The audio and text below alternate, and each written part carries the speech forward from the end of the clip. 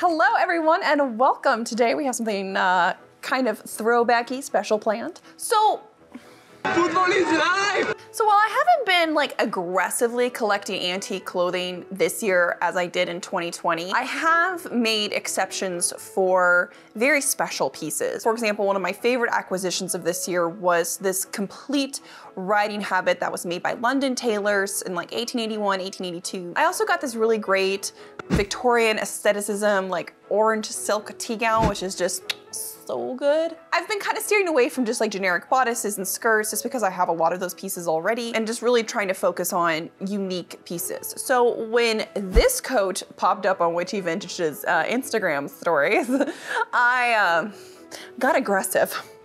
And I was like, give, give, give, give, give. I, I must have. I was luckily the first person to call dibs on it, and so she came home with me. So today what we're going to do is we're going to do an unboxing.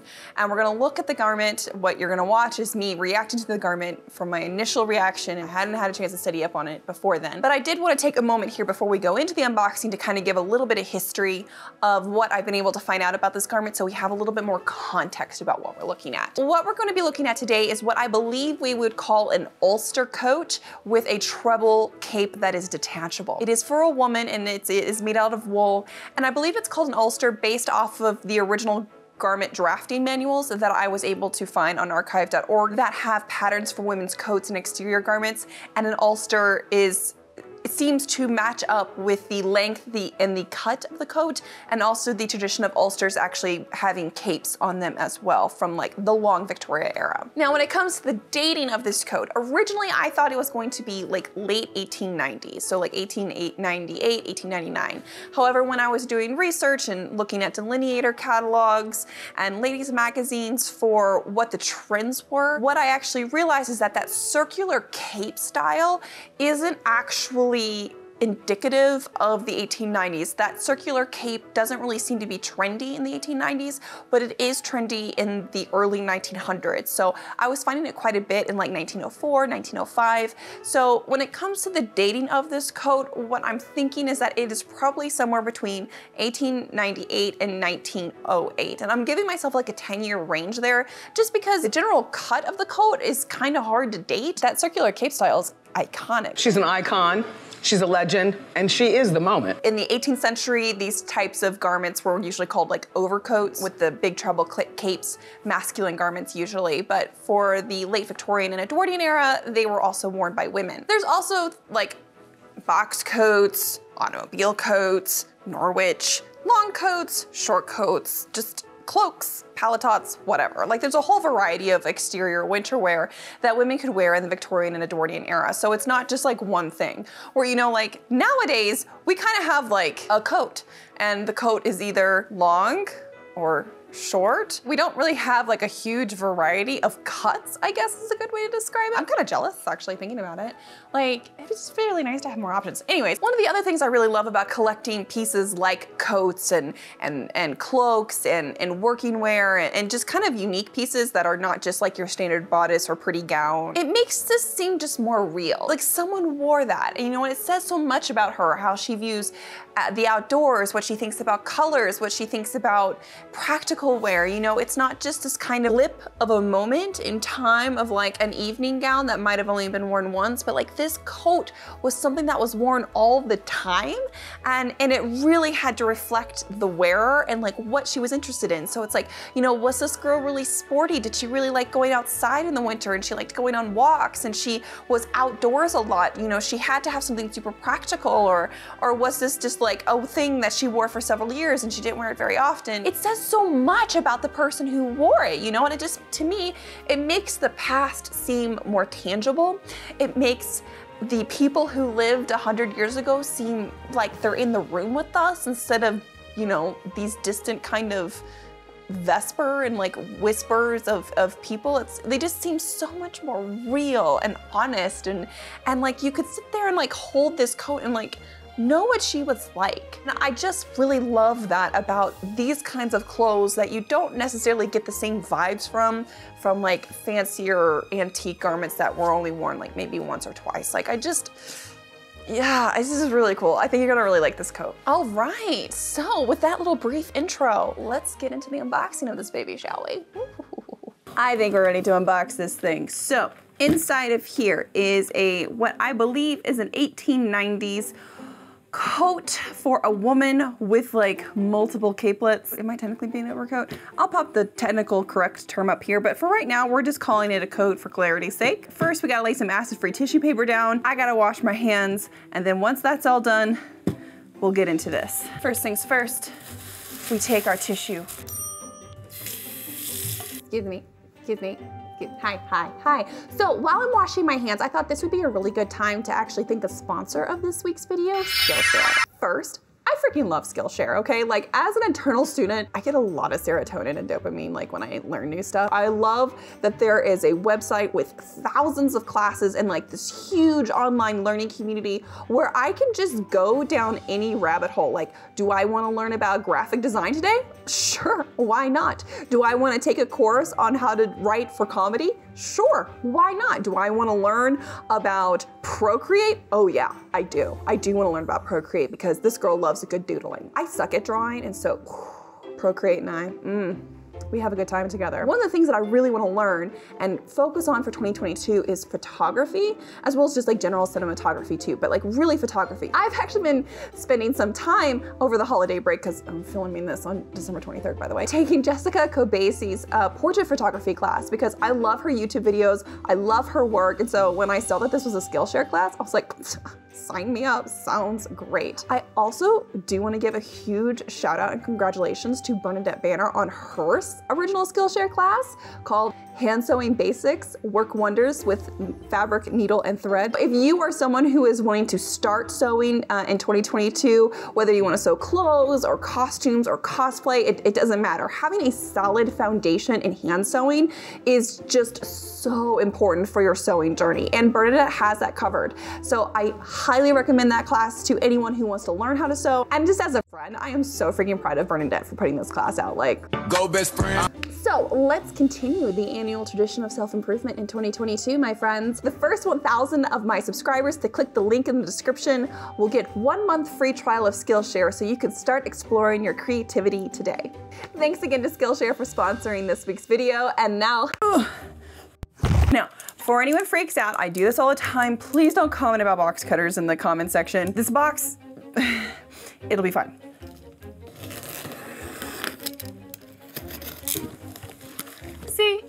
Guys. Oh my gosh, I think she like really DIY'd the box. Card.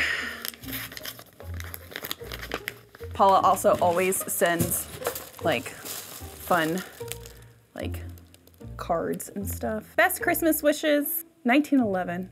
Nice. Oh, here's one with a meatball. So there we go. Happy holidays. Let's see what's in here.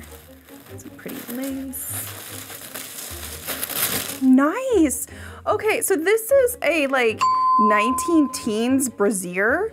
Nicole made one of these not too long ago, but it has the hook here in the front to help hold it onto the corset and it creates that nice smooth line. Okay, I'm gonna set this aside. Clear the meatball card off the table. I think this is one part of the coat. The other part, I think this is the main part of the coat, so we're gonna open this first. She's real pretty. Oh, goodness.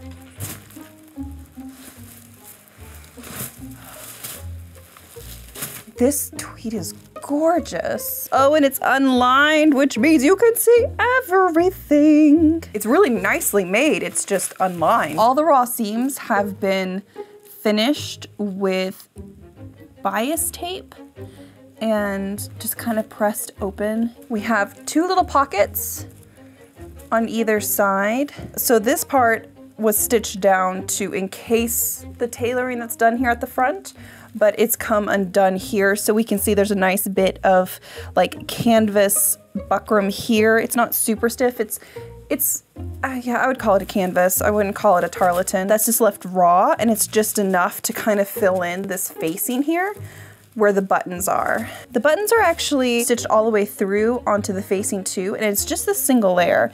So the wool is pretty thick. It's pretty chunky. It's nice and heavyweight. It's pretty tightly woven too, to be honest. It was really pretty. It was like pink and blue with red. Originally and it's just kind of discolored from wear, but on the inside here, it's it's actually really bright and pretty. The bulkiness here at the front is just because of the front edge of the wool being folded over and then the matching wool facing laid on top and then it is stitched top stitched from the outside. So it creates this illusion of piping. So it's just a nice kind of trim and decoration, but it's very strong and sturdy and it's very, very thick. It's probably the same canvas on the inside of the collar. We have top stitching and decorative top stitching to help create structure and reinforcement in the collar but it's pretty soft really. I don't think there's pad stitching on the inside. We have two hooks at the collar. It looks like there was a loop on either side that you probably could have buttoned over to because we have these two small buttons here, but there's no holes. So I'm thinking that there was a loop there's evidence of something else that was cut off at some point in time that I think helped hold it really close at the neck, but I'm not 100% sure. It has the illusion of double-breasted, but it's single-breasted, so we don't have any room for air coming in through here once the coat is buttoned up. Sleeves are unlined as well, so again, this is not a complicated tailored garment. This is actually probably homemade from a pattern. You could get these patterns from Delineator. It is made out of a really nice wool fabric and it's obviously nicely made on the inside but I'm not, I mean, it could be commercially made. There's no reason that it wouldn't be, but it also could be homemade. We have catches to hold the pleats in place. We have the really nice hooks and eyes, the locking hooks and eyes that will hold the back vent of the coat in place, but it could be undone. We have that, the box pleats here in the back or just the pleats are held into place with the same tape that was used for the binding.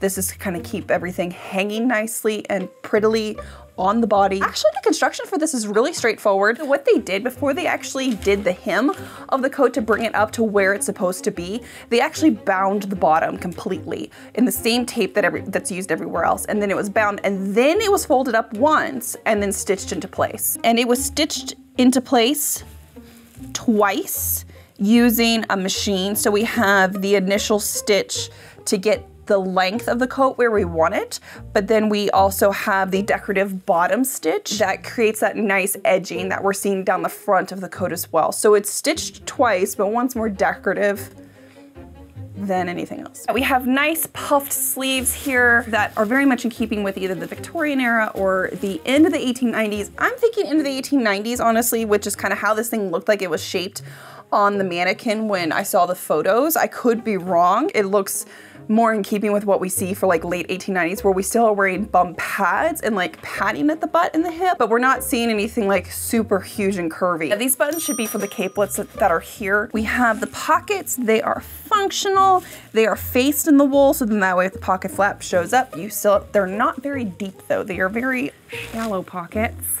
They're faced in that in a brown cotton twill. They're nice and utilitarian, nothing too overly fancy, but still it gets the job done. And this coat was really meant to last, and you can tell that it was worn a lot. It was probably worn for several years. We have staining here at the bottom.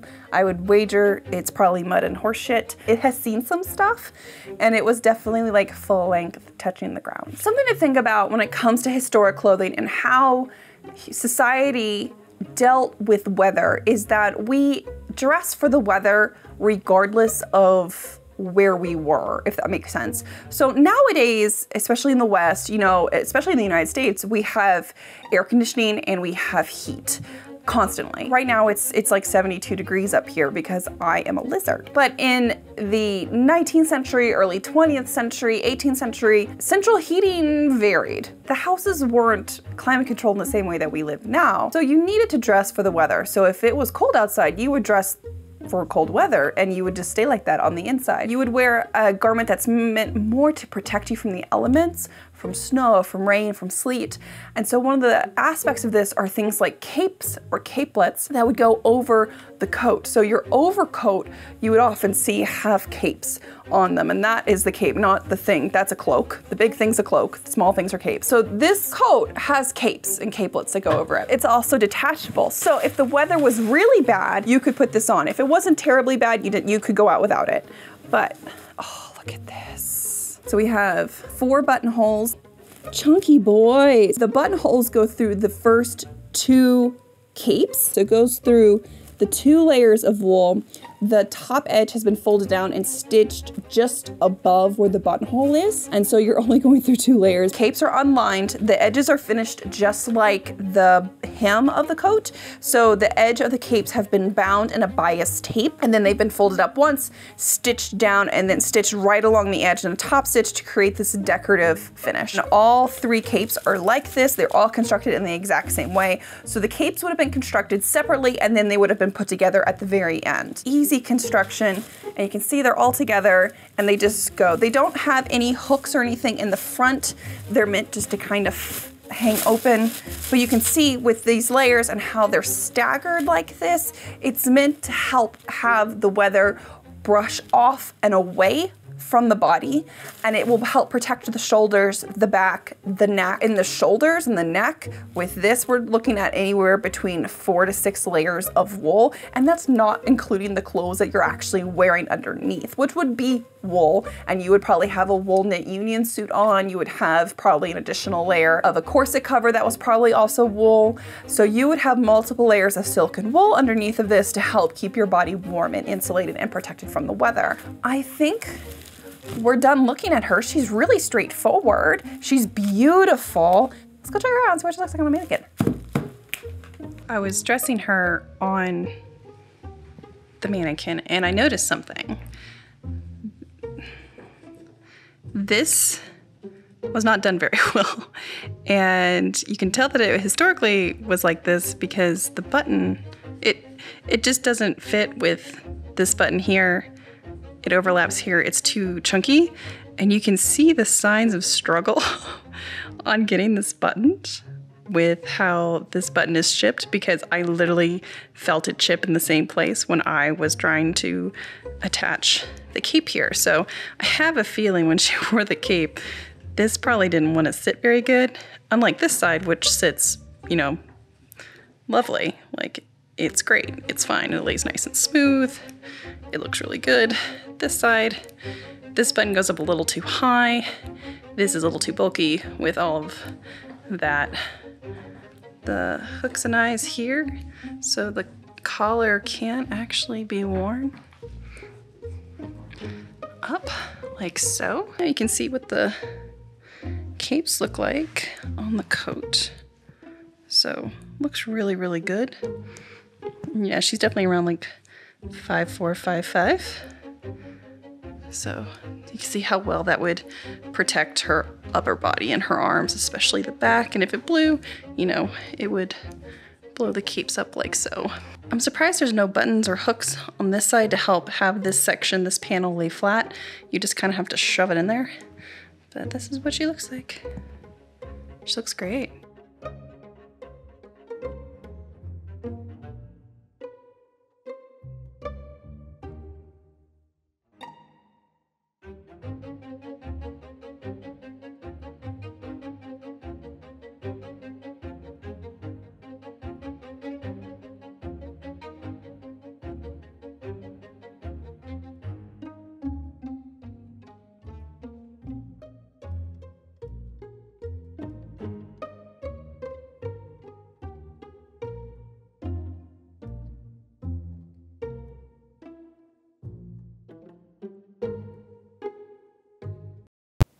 So what'd you think? Hmm?